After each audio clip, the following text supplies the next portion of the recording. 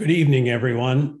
My name is Mike Wohler, and I am pleased to represent the Chatham Historical Society as chair of the Board of Trustees.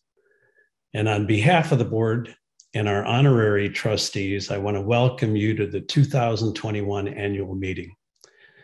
I believe we have an exciting program for you this evening, and I hope that you find it both informative as well as entertaining.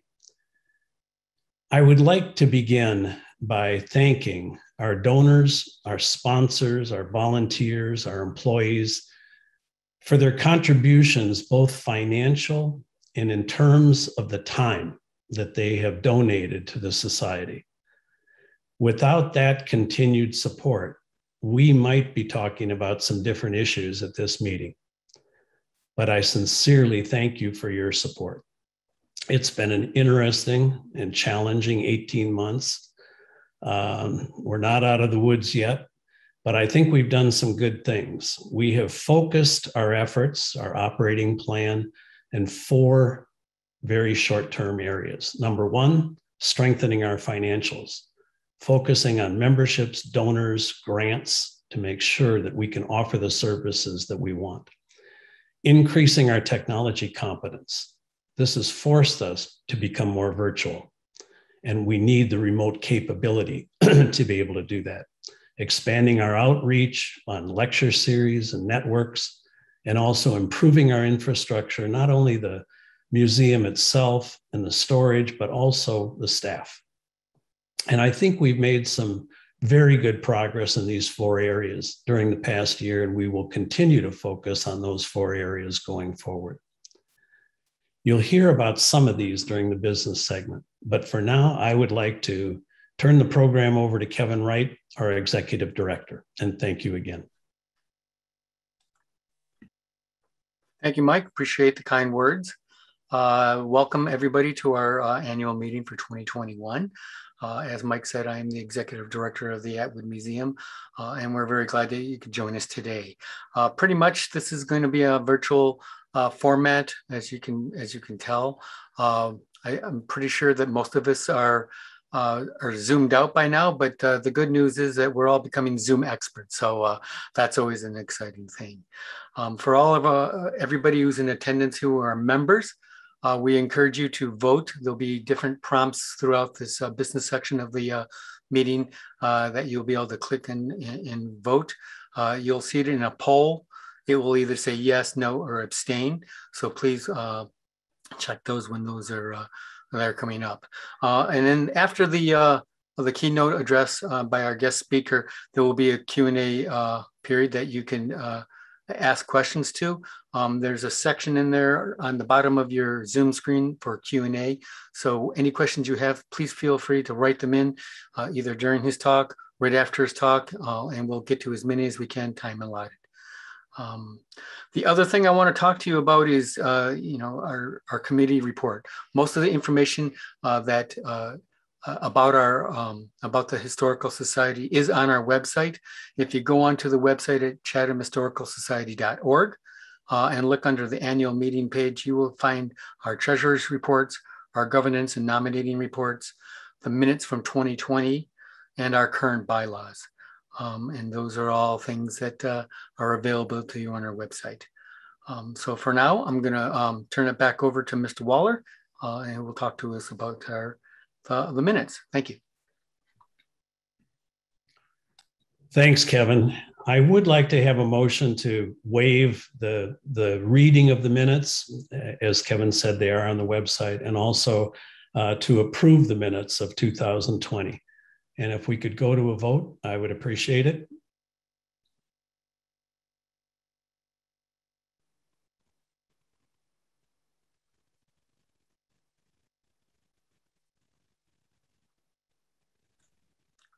Should be coming shortly. Okay.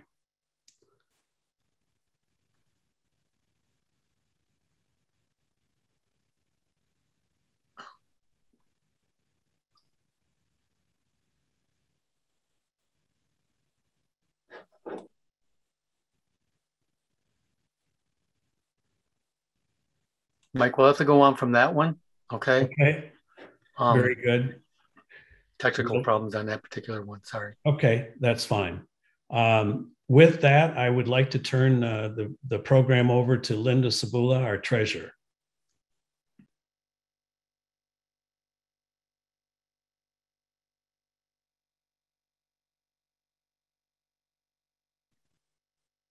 And Linda, yep.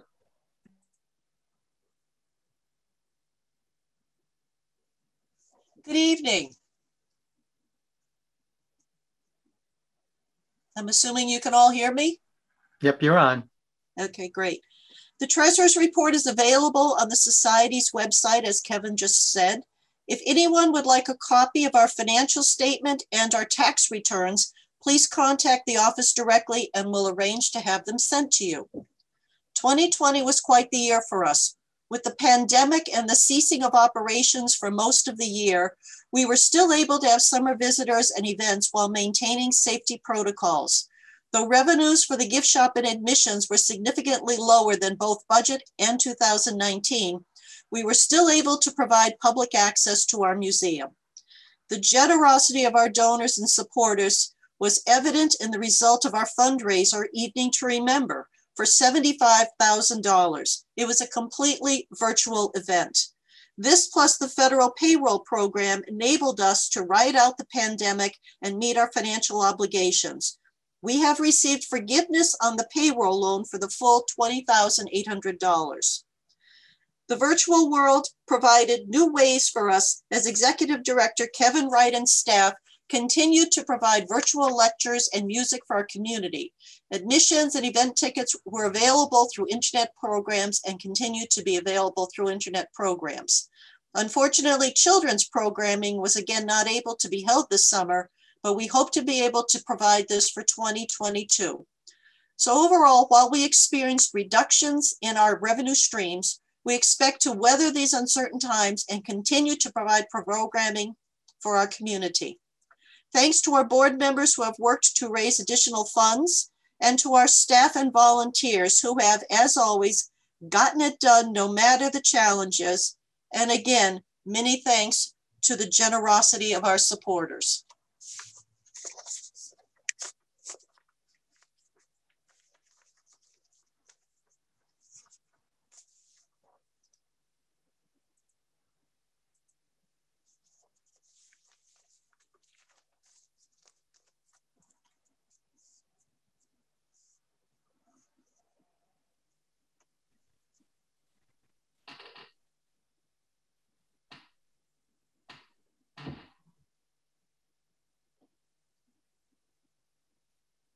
Kevin, do you have the tally for the? Yeah, I think they're still coming in slightly, but right now it's been 100% approved.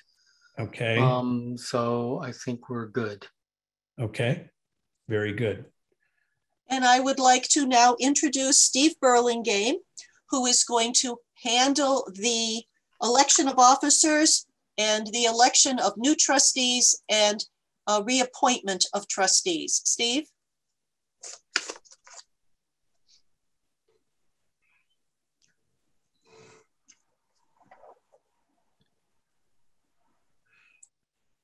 Am I in view? No, you need to hit on your uh, start your video.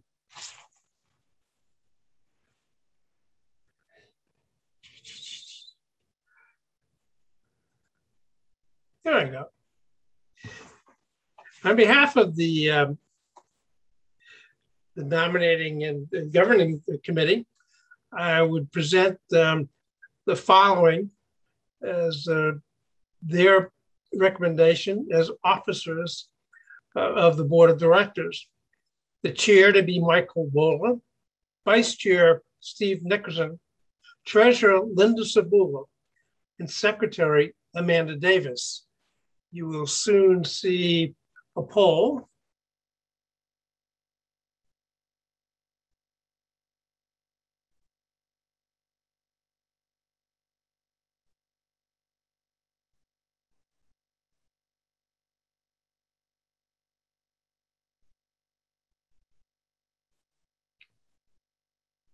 It looks like we have 100% approval there, Steve.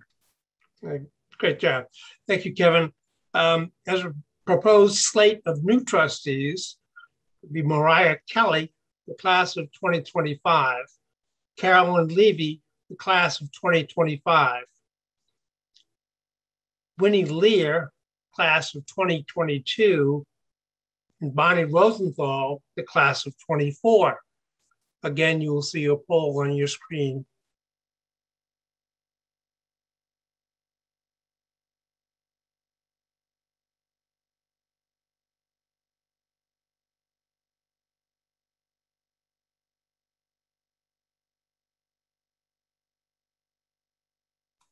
Again, we have 100% uh, uh, approval on that, Steve. Thank you, Kevin. And finally, uh, the reelection of trustees, Nick Harris, class of 2025, and Craig Volke, the class of 2025. And finally, you will see one last poll.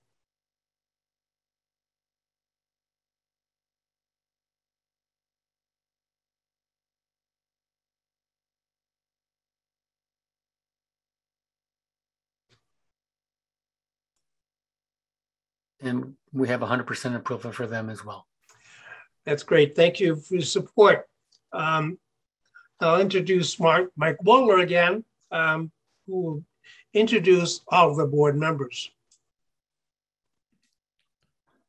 Thank you, Steve. Yeah, I would like to acknowledge them by reading the name of the trustees Don Boynton, Steve Burlingame, Stuart Green, Mariah Kelly, Winnie Lear, Carolyn Levy, Jenny Nickerson, Jamie Seldorf, Bonnie Rosenthal, Angie Simons, Craig Volke, and our recording secretary, Margaret Martin.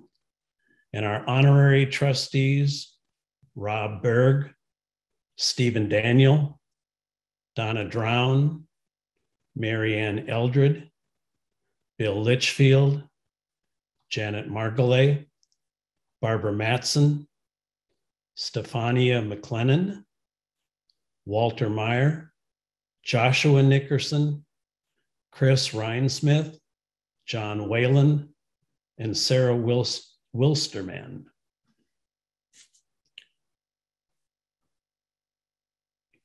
Back to Kevin.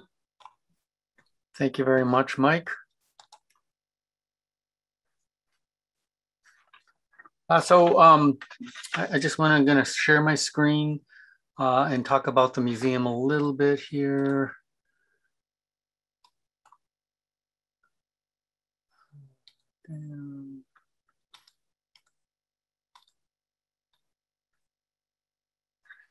Uh, so yeah, we're um, uh, very excited, and I'm very excited to be the executive director for such a very uh, thriving uh, museum that we have here uh, at, at, the Atwood. Um, just before we uh, we came onto our Zoom this afternoon, uh, we were literally bombarded with a whole bunch of visitors that came. Uh, that's what we tend to get on a very uh, rainy day. Uh, in the in the past, we've had some really big crowds. This year has been incredibly busy. we hit close to 150 folks a couple of weeks ago, and we had 87 visitors show up today. So it's um, uh, been a very uh, hopping place here at the Atwood, to say the least. Um, as I just go through uh, a few of the things that we got going on, if you have uh, been to our museum in the last couple of years, you'll notice that our exhibits, for the most part, are the same for our 2021 as they were for last year. Our, our goal was to hopefully reduce some of the exhibits uh, for 2021, but due to COVID, we had to put that on hold a little bit. But we do have some wonderful exhibits returning, uh, including the Turning Point, which talks about the uh, 400th anniversary, or as we like to joke, the 401 anniversary of the Turning Point in the Mayflower's journey to uh, the New World.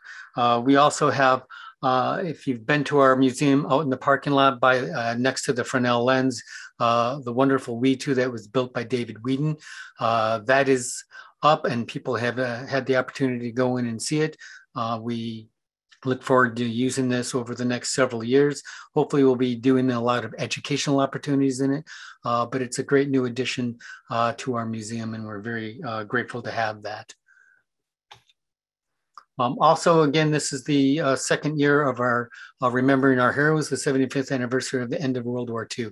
Uh, this is a fun exhibit, uh, and this will be its last year uh, in this room, is uh, in this museum as well, um, as we have a whole bunch of new exhibits planned for 2022. Uh, I, I, couldn't, uh, I wanted to mention our costume and textiles chair, Janet Marjolais, who is uh, really instrumental in putting a lot of the costumes that you see within the museum. Uh, every year she does a, a, great job of decorating the music room within the, uh, uh the Joseph Atwood House. Uh, this year he, she did uh, christening dresses and it's just, she just does a wonderful job and we get a lot of compliments and comments from our visitors that come to the museum. So thank you, Janet, for that. Uh, we were very fortunate uh, to have a, a great uh, school groups come to the museum this year. I believe we had uh, over 100 students show up. Um, and we, we welcome them. We had some wonderful docents and volunteers come in and take them through the museum. Uh, and uh, I believe we had four different bus tours of groups of kids of that day. So uh, this is the kind of stuff that we really want to focus on uh, for 2022 and beyond. Uh, we had hoped to have a um, a summer program for our kids. It didn't work out quite well this year uh, as much as we like to, but we are working on plans to uh, work things through and hopefully COVID will be, be behind us and uh, uh we will have that. So stay tuned for that because uh, that's a real big part of our program plans for the future we always have a lot of events. One thing that's sort of interesting, we've now are are uh, tapping into the private events. Uh, we've had a couple of uh, weddings and pre-wedding events at the museum. As you can see by some of the pictures here, we uh, had some really nice decorations and uh, a lot of people. So it's an extra revenue source that we have at the museum, plus it's a fun event. Uh, and it's a lot of work because we're dealing with literally a staff of three and we're really dependent on, on the volunteers that we have at the museum to help us. But all in all, uh, we're getting a lot of people interested. Uh, we have a lot more information on our website. So if you have a private event that you're interested in doing at the museum, please check out our uh, section on our website and get in touch with, with us. Uh, between myself and uh, John Tibbetts, my assistant director, uh, we'll make things happen well for you. So. Uh, History Weekend this year, uh, this is the collaboration with uh, Historic Chatham. Uh, our part, we did some wonderful things with Hannah Carlson and, and Don Broderick, who uh, dressed up uh, as pilgrims and, and welcome everybody. We had a book signing of one of Hannah's books. so it was a fun weekend. we like to say it was the official kickoff of our, our summer season, but we literally started in the beginning of May this year. So, and, and things have been going well. Uh, Pirates Day we had uh, at the end of July. Uh, this has been ongoing for uh, three or four years. It's a fun family event. Uh, so uh, they come up all dressed in their their garb, and kids enjoy all the kind of stuff. So it's a it's a fun event, and we look forward to more events similar to this in the future. One of our favorite events that we have still coming up in October is called Halloween at the Batwood. Two years ago, we started it. We had over 200 kids come and parade through the museum with costume. Uh, and as you can see last year, it was scaled back a little bit only because of COVID, uh, and, but kids still dressed up uh, and uh, they have a wonderful time. And we have great volunteers who, who dress up and enjoy the trick or treating. So we're looking forward to that uh, coming in October always holidays at the Atwood uh, is, is a fun time. Uh, we'll be having our best bake sale uh, in, the in history coming up in November. It's the Tuesday before Thanksgiving. Uh, so mark your calendar for that. We'll have events on that listed. Uh, we also, last year, we brought back some new trains uh, that um, we used to have the trains of Ryder Martin. Uh, Ryder's no longer doing that right now, but uh, we have found some other uh, another train set uh, and display that we have at the museum. So we will be having that through the month of December. So please check your calendar for that. Uh, we'll be in discussion uh, about the the Grub with the Grinch. It's always a very popular event with the kids, and we'll make sure we see how that works. And as you can see, the sleigh that we have in our antique tool room, we use that sleigh for stuff a sleigh uh, that we can donate uh, hats and gloves and mittens, and it's a it's a wonderful event to uh, uh raise uh, funds and uh, warm clothes for the children in, in need. So please keep an eye on that, as we'll do that in November and December as well.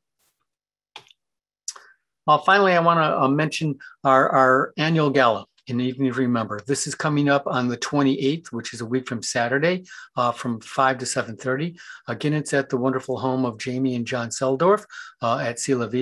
Uh, it's a beautiful location.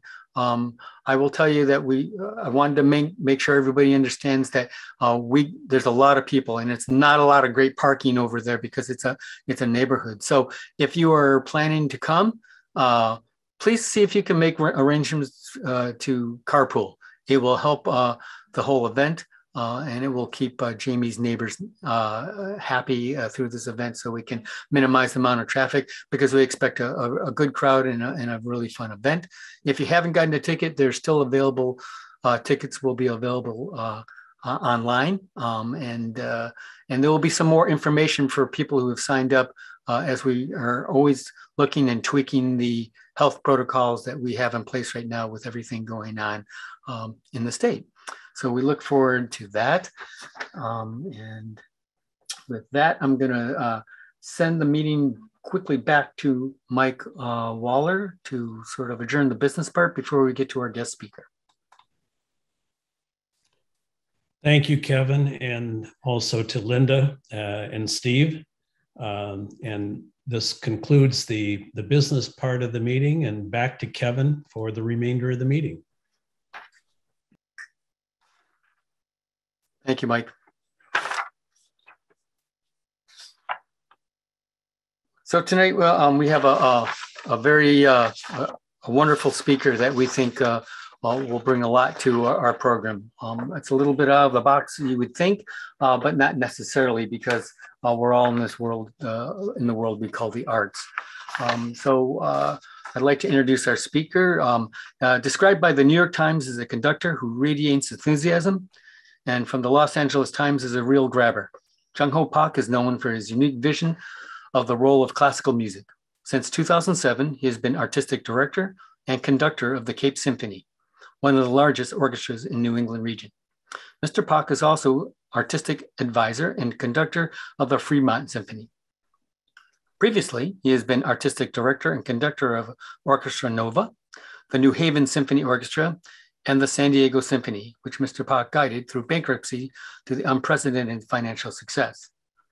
As a nationally recognized educator, he served as music director with the University of Southern California Symphony and the San Francisco Conservatory of Music uh, Orchestra, as well as director of orchestras and music director of the World Youth Symphony Orchestra at Interlochen Center for the Arts, the principal conductor of the Emmy nominated Disney Young Musicians Symphony, music director of the debut orchestra, the Colburn uh, Chamber Orchestra, and the Diablo Ballet. Guest conducting has taken him over to Europe, Russia, South America, and Asia. Uh, Mr. Pak is also a frequent speaker on television and radio, including TED Talks and NPR uh, appearances, as well as a clinician and conductor at the National Music of, uh, Festivals. So tonight's program will be focused on the arts and entertainment during COVID, finale or encore a candid look at the future of the arts and entertainment. Ladies and gentlemen, it's my honor to introduce Jung Ho Pak. Thank you so much, Kevin. And it's such an honor to be here. Uh, as Kevin alluded, it might be a little unusual to have a conductor of an orchestra speak to a group of people who are interested in history. But of course, um, on the face of it, a symphony orchestra is about the history of fine art, but I'm also here to share with you the story about our future as well, and uh, especially vis a vis our current circumstances. So I hope that this will be interesting. I'm going to try to be as um, concise and as um, being a conductor, I'm used to making things flow during a concert. So I hope that to leave enough time for you to ask questions as well. So I'm going to share my screen at this point, and I'll start with uh, let's see, my desktop, I suppose, or Microsoft. I'm going to begin with my PowerPoint here. Okay, great. So, ladies and gentlemen, as Mike said, um, my topic is going to be arts and entertainment, but you can really replace almost any business today because we all are facing very similar challenges during this time of COVID finale or encore. So, I'm going to try to be as candid and as upfront with you as possible. I'm going to try to tear away the curtains or maybe the backstage curtain so you can see hear a little bit of what I'm thinking about, what my organization is thinking about, what the arts are thinking about, and perhaps again, what every business is thinking about at this time. So, this is a perfect challenge, a perfect storm. We have COVID, but even before COVID, we had technology and social trends, which were really changing the way the consumer was behaving. And then we also had another challenge, which a very traditional industry, the performing arts and symphonies in particular, but perhaps all the performing arts. The model that we've been holding on to has been the model that has existed for the last, oh, I would say 100 years. But let's just take a look at COVID for just a second. All of us know about this social distancing. There's it's a generally a vulnerable demographic, or at least it was, perhaps not so much now, since many people who are older are vaccinated but there is still fear and apprehension and uncertainty. Um, there's the issue of gathering, the proximity and dispersion of infection. And there's the desire from the organization to just break even financially. And now, over and, and, and this is exactly what we're doing right now. There's a broader acceptance of digital entertainment and interaction. So, right now, you are not in my living room and I am not in yours we, about a year and a half ago, all of this silliness of being in a Zoom meeting would have seemed like science fiction, but now it's our daily occurrence. How do we compete against that virtual reality? Well, before I get into that, one of the first questions I get is, you know, when do we return? And if you have been to uh, the Cape Symphony website, you'll know that we are returning actually last month. We gave two concerts, one concert at the Melody Tent and to almost a sold out audience. That was breathtaking to be in front of an audience of almost 17 or 1800 people in the round, the melody tent. We did open up the walls, so there was ventilation, but still to see that many people, and I haven't seen that many people or been in front of that many people in a year and a half, and they were cheering, and there were just so much emotion in the room as we returned. A few nights later, we gave a special performance at the Cape Playhouse uh, to help them on their benefit too. But our official opening night will be September, middle September, and our season is fully launched. If you go to capesymphony.org, you'll, you'll see it all there. You can even download a brochure. It's a beautiful brochure. So, where we are mentally is we are prepared to come back in September, but that doesn't mean that we're we have you know a tremendous amount of hubris or a sense of certainty. We're going to be watching the cdc guidelines very carefully and we're going to adhere to it of course. We are uh, we want to give as people uh, keep, keep give our guests as much confidence as possible and still be able to accommodate our very large audiences. I'm sure i'll have some questions about that at the end of this presentation. But as I was alluding to, ladies and gentlemen, I don't think COVID is necessarily the real problem. People will point to it and have pointed to it as, as being the, the greatest challenge, but I don't think so. Before COVID, attendance for the arts across the world had been flat or declining. The demographic, the demographic of the audience had been fairly consistent, especially in this country. The market had not been growing, so it's generally an, an older audience. And that's something that we, um, we are very interested in broadening. The product and experience is remained fairly unchanged for the last 100 years, or even 150, or even 200 years. Uh, what we present are meat and potatoes of a symphony, but you can say the same thing about museums or, or ballet or opera, that the core repertoire is centuries old. But the business model has also been unchanged for 75 years, as I was saying, 75 to 100 years. It's still a nonprofit, rather bureaucratic, top down model I, I kind of liken it to the US auto industry in the 70s and 80s. Another, another uh, kind of red herring that people point to is technology. Ah, is technology the evil? Uh, is, is all of this digital entertainment the problem? So I'm here to give you some context. Well, yes, there is a new expectation by consumers. And now people, and I mean you, you are all consumers, as I am. We want things free. We want to go on YouTube and see things for free. We want instant gratification. We want to hear our music now on our iPhone, in our car, on our computer. We want it now. We are not, we're not very patient. We search for the extraordinary and sensational, and that goes without saying. I think YouTube automatically tees up what is the most fascinating, what are the most interesting.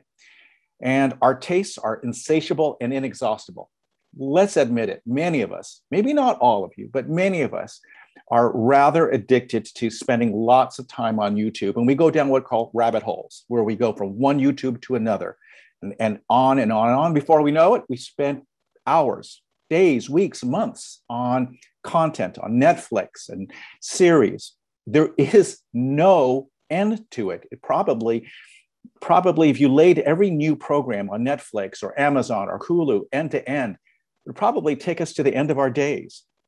And there's no loyalty, meaning that while we may have a su- subscription today, if someone came with a cheaper, more, more variety, uh, more accessibility, we would probably jump in a heartbeat.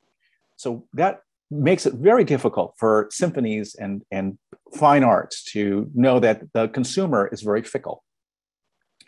There's a generational divide. You have we baby boomers who, who love newspapers and post offices and antennas and libraries and concert halls and museums. These are things we grew up with. The Gen X generation had the cell phones and cable service, email, Facebook, YouTube, and Wi Fi. And now today, the young people have really, and this is not even covering it at all, they have apps and Amazon and voice commands and TikTok and Twitter, Instagram and texting. Everything is becoming more and more um, uh, easy to, to, to act upon and quick to act upon. Now, uh, without getting into this paragraph totally, I want people to be comforted by the fact that technology and music and the arts have, it's a long time marriage. Ever since the first caveman picked up a rock and a stick and pounded them together and creating sound, that was technology. That, believe it or not, then animal skins and creating string instruments of, of, of different types um, all across the world. And then we graduated to um, plucked instruments and harpsichords and piano, et cetera, et cetera, et cetera. So to say that we should be frozen in time in the 19th century or 18th century, and that is all the symphony should be, would be denying thousands of years of technology of advancing of how human beings made sound. And then, of course, the printing press, just as it changed the written word, once we were able to notate how music was to be performed, well, that was the beginning of a complete explosion of other people being able to replicate music and become more complex because now you can write parts out. People didn't have to memorize only one note at a time. And you had uh, you know, choral groups and then small ensembles, and then, yes, the symphony. And all of these people did not have to memorize the music. You can now read music. Here's another familiar piece of technology, Maelzel's metronome in the 19th century, and Beethoven was one of the first to adopt the metronome. Thank goodness, because now we as conductors can refer to this technological marvel to get an idea. As my music theory teacher used to say, if you're waiting for, for a phone call from Beethoven in terms of an interpretation, you have a long time to wait because he's not going to tell you. But this little device can give me a glimpse into what Beethoven may have had in mind in terms of how fast a piece should be, particularly his symphonies. There's great controversy whether Beethoven's metronome was faulty somehow, but that's another story altogether. And again, uh, as instruments, even within the symphonic world, things became better and stronger, even though we kept playing Mozart and kept playing Beethoven violins became stronger. We went to, to metal wound strings, which could produce greater sound and they became bigger. So even within the seemingly um, frozen world of a symphony, tremendous advancements in technology. And then the reproduction, as I was saying before, from the gramophone to the radio to television to YouTube and Netflix, this idea of democratizing art. In the old days, you, you either heard art in, well, in the very old days, by showing up and seeing a human being play an instrument. That was the only way, or sing a song, that you can experience sound, uh, organized sound of music. But then the gramophone changed everything. And as long as you had a certain amount of money, then you could buy a gramophone and you could have the concert hall in your living room. We forget about that, that, that democratization of art. And then the radio, of course, that was less expensive and then more infinite. You didn't have, have to have have to have cylinders. You can now listen to multiple stations and hear everything from country to the news to classical music. And then television added that third dimension, which even became more addictive. And now today, YouTube, you don't have to have 12 channels as we did when we were growing up. Now it's infinite. And the first integration of technology into a concert was in a piece called Pines of Rome by Ottorino Respighi. Now I'm going to play this and I'm going to hope that the sound, I'm going to actually pause for just a moment. I'm going to pause my, my sh share and I'm going to see if I can, I don't know if this is, um, see, I'm going to go back into this and I'm going to share once again to make sure the sound is, is audible. That's my goal. Okay, pause a second. Um, share sound, and here we go to Safari. Good, very good. Here's Toscanini conducting the NBC Orchestra. And at the end of this clarinet solo, you're going to hear a recording of a bird. And this was the first use of an electronic work. I don't know if it was strictly electronic. It could have been a wound up, uh, but no, it was probably electrical. Uh, but it was a recording of a bird and not an actual bird in the concert hall. And what a magical moment that was.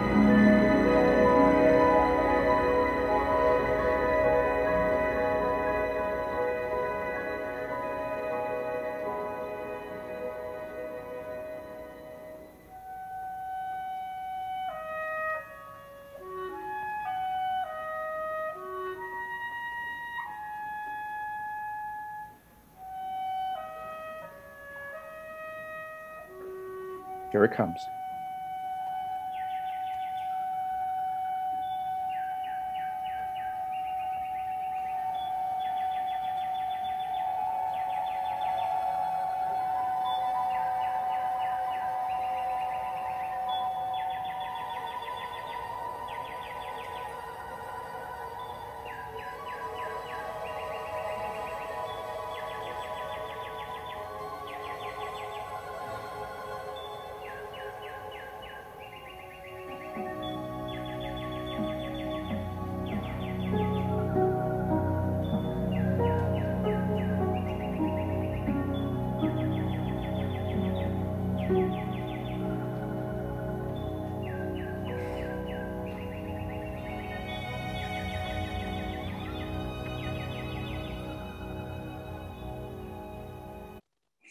What a magical moment. Even today, that is still haunting to hear. Totally unexpected. You can imagine the audience coming and just going, My goodness, where's that bird? Where is that coming from?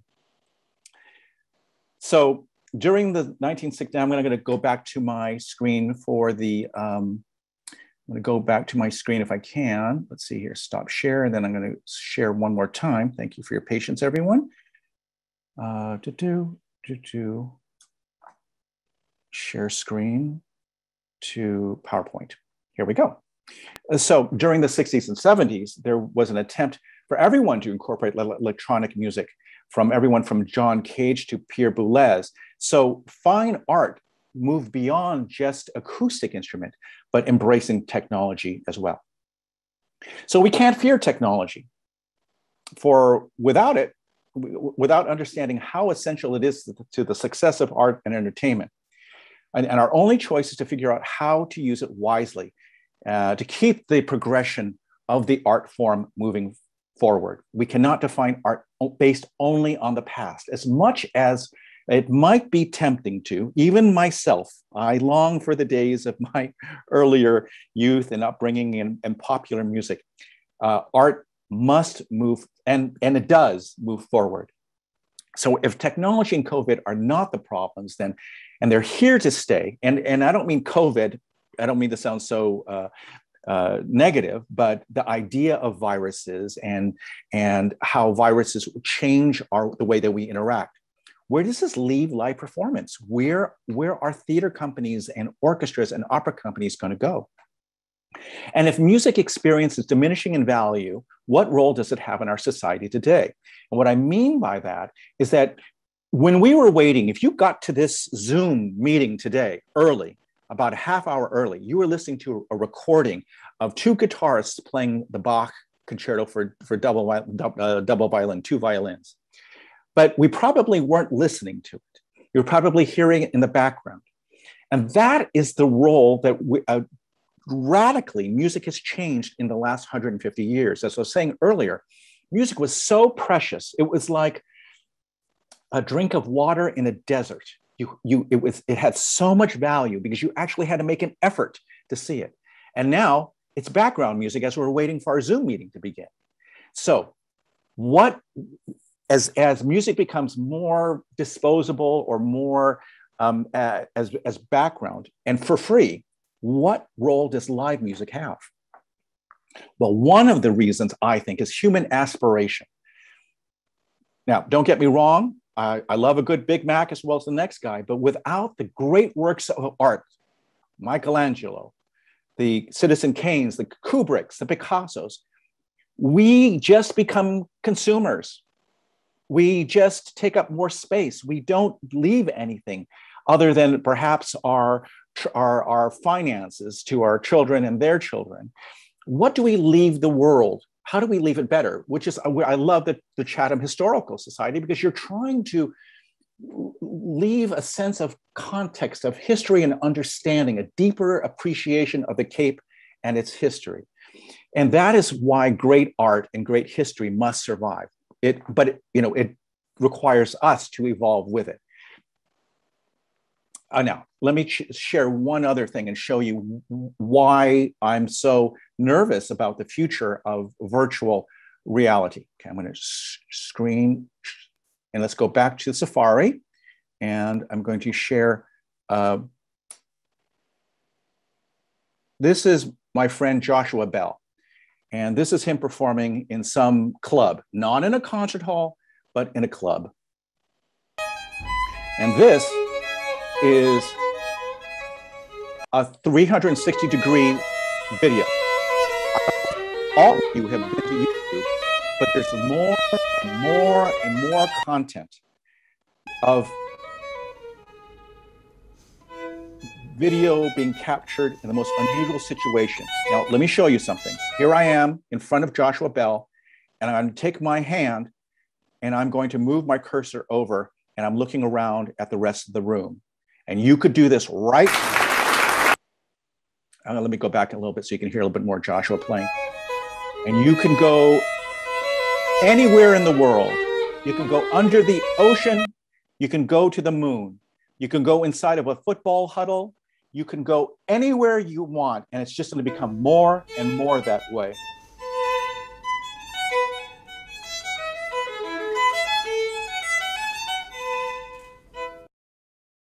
So you're saying, well, Jung Ho, that'll never replace a live performance. For some of you, that may be the case. And I hope for many of you. But for a younger generation, people in their 20s and 30s, this is an acceptable uh, replacement. Just as I, you, you might remember, even before telephones were invented, you'd have to be fairly old to do that, or before your town got a telephone. But now we use telephones as a completely satisfactory way of communicating with everyone. Never mind a computer, never mind email, never mind Facebook, never mind all of that. Every generation has a different standard for interacting with each other and not being in the same room. Okay, go back to my little um, presentation here. And I, I hope you're having your questions in mind while uh, we're all coming to the home stretch here. Let's see, Microsoft PowerPoint and share. Okay, so that was a virtual, a virtual reality. And here's another reason why I, I, I like to call myself not a conductor, but I am a fighter. I am a warrior for maintaining the importance of us gathering together. Okay? I'm not just a conductor, but I'm a, I'm a warrior for community. If we were ever to survive in our living rooms and on Zoom channels, we would completely lose our sense of community and, and maybe I don't even need to tell you what a tragedy that would be. You would not know your neighbor. You would not know the people on your street. You would not know the character of your town. You would lose a sense of what the Cape is all about or New England is all about. We will all live in little boxes. We cannot let that happen. If we let that happen, then we lose our empathy for each other. We lose our ability to care and to be and to love each other and then we lose our, our will to make an effort. We, if everything showed up on an Uber Eats app and our pizza came to us every night, we would stop being human beings and we would be kept, kept animals. And we do not want to do that. So we must continue to gather together. We must be together, see each other, feel each other. Now, one of the things that makes people a little bit nervous is the word entertainment, because arts and entertainment. And I want I just want to say a few words about this, and I'll be quick about this. But you know, the word entertainment and how it's applied to fine art is something that is really only a recent phenomenon. Because Mozart and Beethoven, two of the greatest classical composers, understood the economics of art. You know, we think of art as being free of the, the travails and the burden of having to make money. But Mozart and Beethoven were entrepreneurs you could see the way they put on concerts and every decision they made, they wanted to excite the audience. Beethoven kept rather fastidious notes of his expenses. He was his own entrepreneur. He produced his own concerts, one of the very first. Up to that point, composers were court composers, they were basically employees. Beethoven and Haydn were part of this new generation of composers who were entrepreneurs. So I just want people to think, to remember that some of the greatest artists that we think of as art were also business people as well. They understood the value of entertainment. Thank you for listening to that. Now, let me get back to why I think we need to have live performance. And I believe, almost first and foremost, we have a moral imperative. We have the cure. If I was Jonas Salk and I, and I had the cure for polio, I believe it would be a crime to withhold that from the world or to char- charge some exorbitant fee that some child who could not afford the vaccine could get it. That would be immoral. And so I feel that we, for all the reasons I just shared with you, that we have a moral imperative to help make the world a better place. If, if classical music and symphonic music pop's music, Gershwin, Beatles, Lady Gaga, if we bring joy and hope to a world, then we have a moral imperative, just as Jonas Salk did, to help heal the world. And that's what I that's why I get up in the morning and that's why I'm with the Cape Symphony. We believe that every child, every person deserves food, clean water, and shelter. And but we also know that the cure for loneliness is beauty and emotion and companionship and expression and love is the answer. And I believe that's why a concert is so important. Okay, I'm going to go past this. You know, guys, a symphony is a fabulous metaphor of how a symphony can, a society can be. I love it because it's the very one of the few places that you can come to a concert and look around and you cannot guess which who is a liberal or who is a conservative, who's a Democrat and who's a Republican. We are all together, not, not only in the audience, but on stage as well. Look at this picture of the Cape Symphony. I want you to point a finger to tell me which one is a Democrat and a Republican. And we do have both. It is where 70 people get together on stage and do something incredibly beautiful, incredibly emotional, and we just are, are celebrating our togetherness. And that, that's another reason why I think symphonies need to exist is that they remind us of how, how universal we all are together. And so the, the part of the reason I'm, I'm sort of radical in my thinking is that I've decided to ask all the hard questions. And there's a book that was written many years ago called He's Just Not That Into You. And it's a little sexist because of the title. But the idea was that if you're not getting something that you want, that you need to ask yourself or, or, or just realize that if, if the world isn't beating a path to your door, maybe it's you that need to evolve. And this is what I have come to a realization that for a long time, people said, oh, classical music is not, it's not as popular as when I was younger. And it's true. There's, there's PBS doesn't pro, you know, broadcast orchestras anymore. that used to, but not anymore. Fewer classical stations. Music is being taught less in the schools. But instead of complaining about it, which I get a lot of complaints, I think it's time for us to evolve. And the Cape Symphony has been my laboratory for that. It has been my laboratory to see what can we, can we be something for, for everyone, not the 1%, not the 0.5%, but can we actually become a symphony for the 99.5%? Can we present concerts that are exciting and emotional? Can we have great customer service? Can we tell a story during these concerts? Can we integrate technology in a way that doesn't denigrate the core product, but actually enhance it in the way that, that steel strings enhance a violin? And so this has been my journey that I'm sharing with you, this, this, this road to discovery. And what I just said, you know, if we do not evolve, if we decide that we're going to be kept in a in an air sealed bag for the next 200 years and keep Mozart and Beethoven hermetically sealed, then we dishonor them because Mozart was an incredible radical. The way the operas that he wrote were so unheard of. And the, the themes and the music and Beethoven was more like perhaps uh, uh, you know uh, like a heavy metal music at the time. So incredibly brave and unusual. And and stravinsky as well.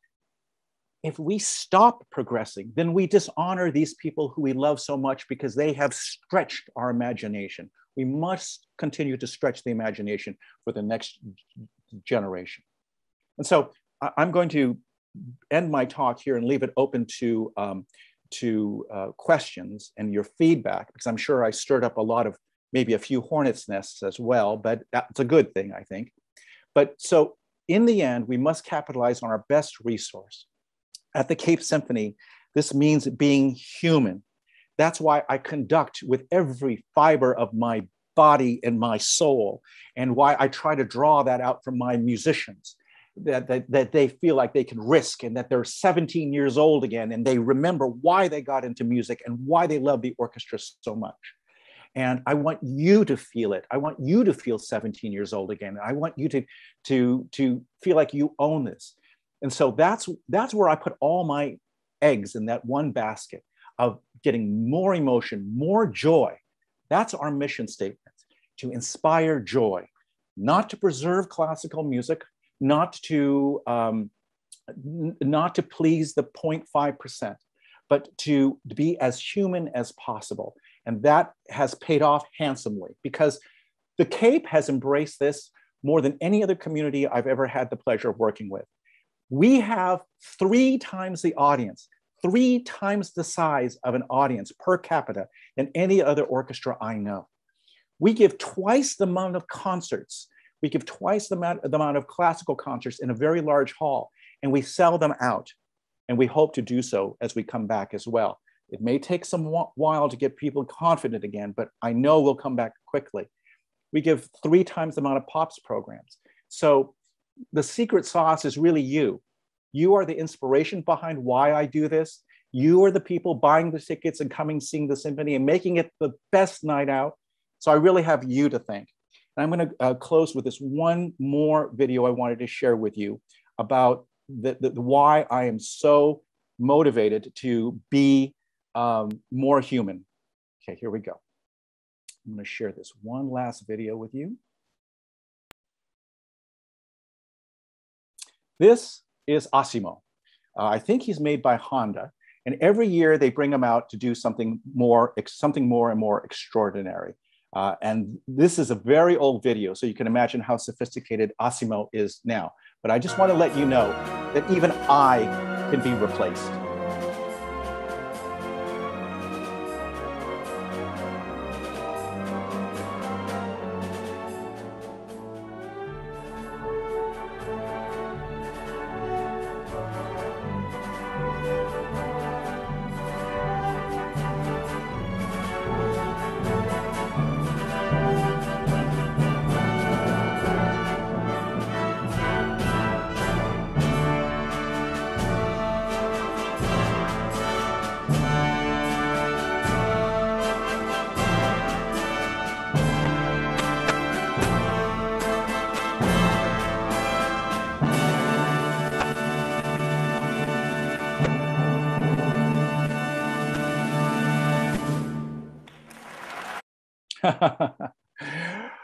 and I'm determined not to be replaced. I'm determined to be as human and as emotional and share that with you for years to come.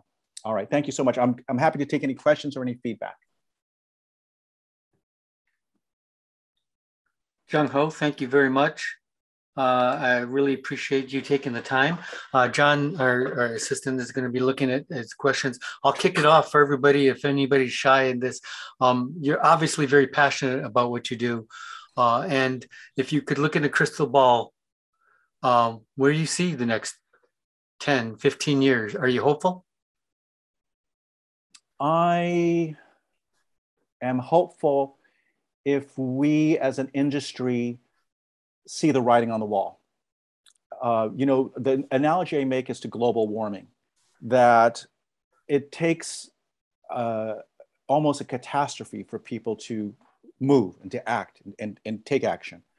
And I feel like if we as artists can not see ourselves as being a rarefied exception to, to society, but there, there is need more than just beauty of the art we produce. Again, there is need for humanity and empathy in our society. We need to come together and we need to remember what binds us together. And if, if we can embrace this, Kevin, as our main mission and not just put paint on a canvas or note through a violin, then we will have stepped up and taken the higher mantle. We will, we will have taken the higher purpose. And I think this could possibly be a new era for, for the purpose of art. Excellent. Thank you. John, do we have any questions out there? Or? No questions yet. So oh. I really encourage folks to um, reach out and ask some questions. I have a question. Don't don't be shy. Yeah. Feel free to write the questions in. I have a question. Or, or just, or, or, even just a comment. Uh, yeah, comments. Yep. Uh, well, Jung Ho, I have a question for you. This is kind of off an earlier conversation we had in our one of our run throughs was talking about how do we connect the Cape Cod cultural institutions, and what do you what is your thoughts on that? It was just one of the things that when I got to talk with Kevin and John uh, a, a, bit more and, and discovered the Chatham Historical Society and the campus that you have, I felt almost ashamed that I had been conductor with the Cape Symphony for 15 years and I had never set foot on your campus. And it just reminds me how much wonderful work and how much great leadership there is in the community, but how fragmented we are. And so I, uh, I am determined to find out whether we can create what I'm calling this kind of neural network of creativity uh, uh and of consciousness, that we can come together and collaborate together so that symphony and maybe the Chatham Historical Society and other arts groups can come together and actually do something that that forces us to, to be on each other's territory, to, to get in front of each other's audiences, and, and to be stronger because of that. Uh, I think we live in our little fiefdoms a little bit too much, and I'm hoping that we can. Uh, at, we've opened the door for us to to work together in the future, but I, I think there's so much more to do. We have one question now. It's a pretty good one. It says, What can we of the older generation do to help encourage the younger generation to embrace the arts? Yes, I get that question asked a lot, a lot. And what I would what I would say is just to bring them, just bring them to one. And I think, and that's, that seems like such an obvious uh, thing to bring them, bring them to just one concert. But I think many of us, especially who are older, think twice and three times about bringing someone younger because we ask ourselves the first question is will they be patient enough to stay through a concert? Will they can they sit through an hour concert two hour concert? And and and, and you know would it be the right fit?